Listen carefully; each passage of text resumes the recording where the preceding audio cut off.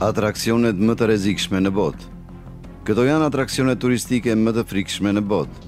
Vizitojeni nëse guxoni. Keni dashur ndonjëherë të përkuleni nga skaji i qiellgërvishtësit më të lartë të Nju Jorkut? Në një mijë e njëqind metra mbi tokë, kërkuesit e emocioneve mund të ngjiten dhe të përkulen mbi pikën më të lartë në rrugën e ngarkuar poshtë. Ose ndoshta ju ende dëshironi të shihni peisazhin e qytetit të Nju Jorkut, Por keni nevojë për diçka shtesë midis jush dhe tokës. Nëse nuk keni frikë nga lartësitë dhe i besoni forcës së perspektivës, kjo mund të jetë tërheqja për ju. Përshëndetje të gjithëve! Përpara se të fillojmë doja t'ju kujtoja se në profilin tonë gjeni një link me titullin Na qerasni me një kafe, ku në mbështetje të punës sonë secili mund të kontribuojë një shumë simbolike, që fillon nga një dollar dhe sipas dëshirës. Stafi jonë përpiqet shumë në realizimin e videove sa më të bukura dhe cilësore për ju. Nëse ju pëlqen materiali jonë, atëherë na qerasni me një kafe. Kjo do të na ndihmojë të rrisim stafin tonë dhe të përmirësojmë cilësinë. Ndoshta për ju një kafe një dollar nuk është asgjë, por nëse bëheni bashkë për ne është shumë. Faleminderit që jeni pjesë e jona. Një suportues vlen më shumë se një mijë ndjekësa. Lëkundje shkëmbi Kjo lëkundje shkëmbi, shtatëdhjetë e dy metra në Kinë, Është shumë argëtuese derisa të shikoni poshtë. Mund të përjetoni pothuajse mungesën e peshës, ndërsa lëvizni mbi male të mbuluara me borë me një lartësi relativisht të madhe. Nuk është çudi që ju duhet të jeni të lidhur me ripa. Sky Park i Kinës jugperëndimore përmban një vendkalim që ka shumë boshllëqe përreth tij. Për fat të mirë, ka një parzmore dhe litarë sigurie të bashkangjitur Sepse një hap i gabuar mund të nënkuptojë fundin.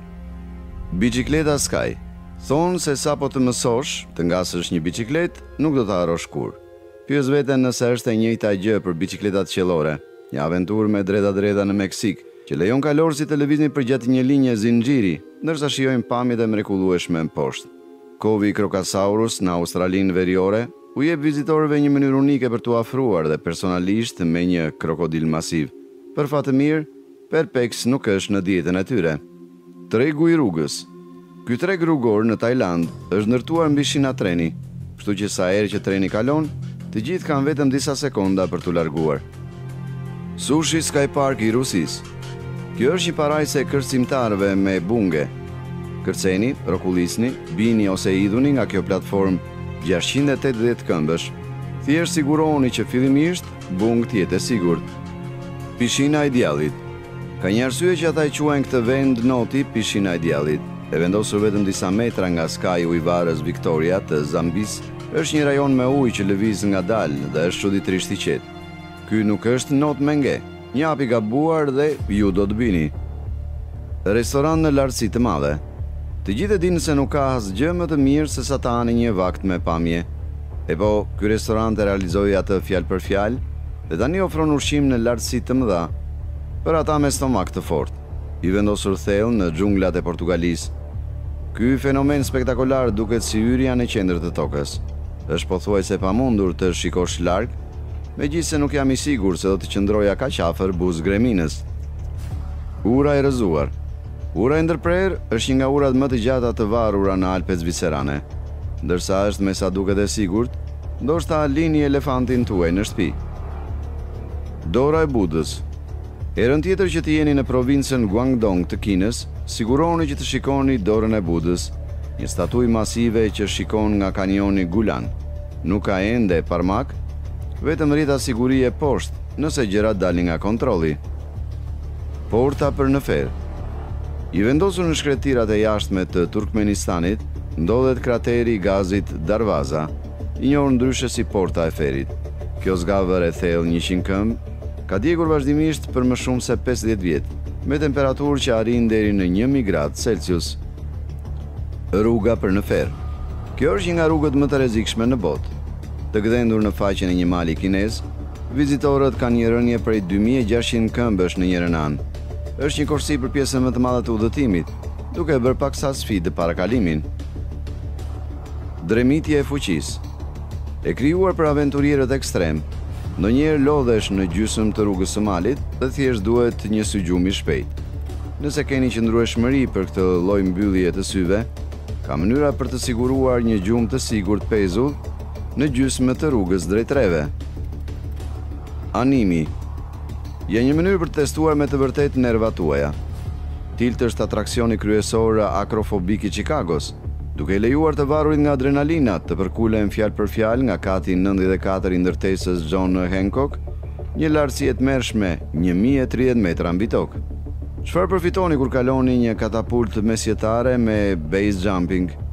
Një përvojë që nuk është për ata me zemër të dobët. Kjo është arsyeja pse është e gjithë argëtim dhe lojra për aq kohë sa ju kujtohet të tërhiqni pusullën tuaj. Fluturues. Kjo lëkundje gjigante në Kinë duhet të jetë lëkundja më e madhe dhe më e frikshme në botë. Kalorës me nerva prej çeliku ngjiten dhe lëvizin nëpër harqe ylberi, deri në një rënie prej dy mijë e dyqind këmbësh në grykën më poshtë. Shkallët për në Parajsë. Duke shtrirë njëqind e dyzet këmbë dhe duke lidhur dy majat e malit Donner-Kogel në Austri, kjo shkallë qiellore prej çeliku e pasigurt ka fituar pseudonimin e saj Shkallët drejt Parajsës dhe nuk është për ata që kanë zemër të dobët. Një çift kabllosh është gjithçka që qëndron midis jush dhe një rënie prej dy mijë e dyqind e nëntëdhjetë e gjashtë këmbësh në grykën më poshtë. Skywalk, Për guximtarët e vërtetë, Skywalk në Bangkok do testojë nervat e kujtdo që pretendon se nuk ka frikë nga lartësitë. Dilni një mijë e tridhjetë këmbë mbi kryeqytetin tajlandez dhe thjesht lutuni që xhami i përforcuar poshtë këmbëve tuaja të mund të mbajë peshën tuaj. Skaji i Balit, Kjo është një pishinë me pamje. Edge of Bali, Jo vetëm që ka mure xhami që duken mbi një faqe shkëmbi të pastër, por ka gjithashtu një dysheme me fund xhami për atë ndjesi surreale fluturimi.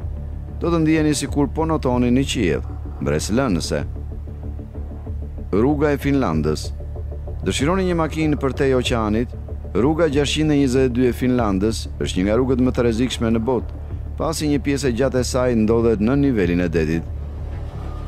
Dyert kurth Dyert e kurthit nuk janë vetëm për gjenitë e këqinj. Rezulton se është një mënyrë e shkëlqyeshme për t'i bërë dy njerëz të kërcejnë me bungee menjëherë. Nuk e di se çfarë është më e frikshme, vetë rënia apo numërimi mbrapsht para se të hapet dyshemeja. Katapultë njerëzore Kjo është katapulta më e madhe njerëzore në botë. Imagjinoni nxitimin e hedhjes nëpër luginën e Nevisit të Zelandës së Re, duke arritur një shpejtësi marramendëse gjashtëdhjetë milje në orë në vetëm një sekondë e gjysmë. Ka mbaruar para se ta kuptosh. Është një përvojë që ndoshta nuk do ta harroni kurrë. Plazhi më kaotik. Ky duhet të jetë plazhi më kaotik në botë. Kushdo që vendosi të vendoste një pistë pranë plazhit Maho, nuk mendoi se sa shqetësuese do të ishte për të gjithë ata që notonin poshtë. Ekstremi, tubi i rregullt dhe pastaj është ekstremi, i ndërtuar nga kërcimet olimpike të papërdorura të skive në Salt Lake City, Utah. Ky park aventuresk e ka shndërruar kodrën në një aventurë me tuba me shpejtësi të lartë. Me shpejtësi që tejkalojnë pesëdhjetë milje në orë, ky nuk është udhëtim i qetë, Ura e lëkundur. Kjo urë lëkundëse në Kinë është testi i fundit i ekuilibrit dhe shkathtësisë. Ndërsa disa njerëz përpiqen të lëkunden në lëkundjet e egra të urës, të tjerët vrapojnë nga njëra anë në tjetrën për të qëndruar në këmbë. Megjithatë, gaboni kohën ose ekuilibrin dhe do të notoni. Shiko mami, nëse e doni rrëshqitjen me rrëshqitje dhe thjesht mezi prisni për verën, kjo rrëshqitje me biskota në Rumani është gjëja tjetër më e mirë. Ju keni një fren dore dhe mund ta përdorni në çdo kohë, por pse ta bëni këtë? Ura e trollit. Ura e fundit e trollit duhet të jetë kjo në Kinë, ku pjesët e xhamit zëvendësohen me ekrane HD që çahen kur ecni. Shtoni efektin e tingullit kërcitës dhe do të keni shakanë e fundit. Rota Ferris Shtoni këtë udhëtim gjigant me lëkundje me Rota Ferris në listën në rritje të atraksioneve, që kam shumë frikë të vazhdoj. Rëshqisni dhe fluturoni. Parqet më të mira ujore në botë kanë një slip and fly, dhe më besoni, është diçka që nuk do të dëshironi ta humbisni. Fitoni shpejtësi të mjaftueshme poshtë kërcimit përpara se të zhyteni në ujin më poshtë. Gjithçka ka të bëjë me atë finesën ajrore. Gjithsesi, Cakto kalimin tënd gabim dhe do dëshiroje të qëndrosh në pishinën e fëmijëve. Rruga e Ylberit. Kur themi rruga e Ylberit, shumica e njerëzve kanë rikthime në hartën më të keqe në Mario Kart. Fatmirësisht, kur bëhet fjalë për versionin e vërtetë në El Salvador, nuk ka rrezik të bierë. Është rrëshqitja më shumëngjyrëshe në botë. Rrëshqitja e borës. Teknikisht, kjo është ende një rrëshqitje uji, megjithëse shumë e ngrirë. Kjo rrëshqitje bore në Rusi është mënyra e përsosur për të zbritur malin e akullt. Kur shenja paralajmëruese në këtë udhëtim thoshte se mund të lageshe, ata me të vërtetë nuk po